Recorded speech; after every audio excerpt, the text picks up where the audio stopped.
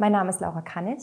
Ich werde bald meine erste Pfarrstelle antreten im Pfarrbereich Eisleben mit Beauftragung für die Kinder- und Jugendarbeit im Kirchenkreis Eisleben-Sömmerda. Und mir ist in meiner Arbeit wichtig geworden, dass sich so vieles verändert in unserer Gesellschaft und in der Kirche und dass wir auf der Suche danach sind, wie es für uns individuell, wie es für uns als Gemeinden eigentlich weitergeht, was uns was sagt und was uns neu wieder bei Gott ankommen lässt.